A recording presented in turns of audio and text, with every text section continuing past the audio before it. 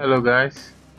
This video details how to import your project boundary into the phantom 4 rtk drone to be used subsequently for a precise mapping.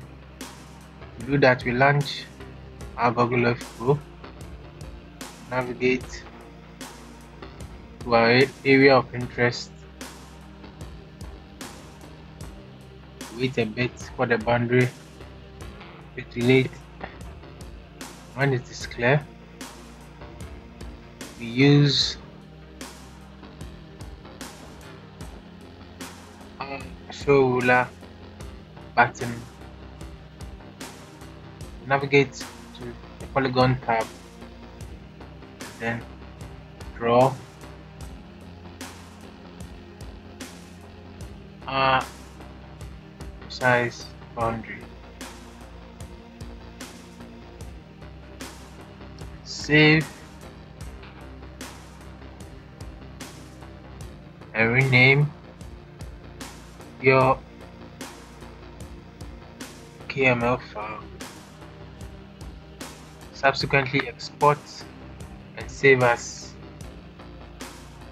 KML file. Create a KML file to a specified folder on your SD card. Launch your SD card, navigate to your DJI folder and the KML subfolder. Paste your KML file into that particular folder ready to be imported onto the DJI Phantom 4 RTK logger. Insert the memory card at the lower right hand side of the remote controller. Push the memory card downwards to lock. Make sure to close the micro SD card slot cover when done. After inserting your card, the content of the SD card in the KML folder is displayed automatically on the screen. In the event the pop-up doesn't display, click on your three dotted lines, click on the memory card, voila!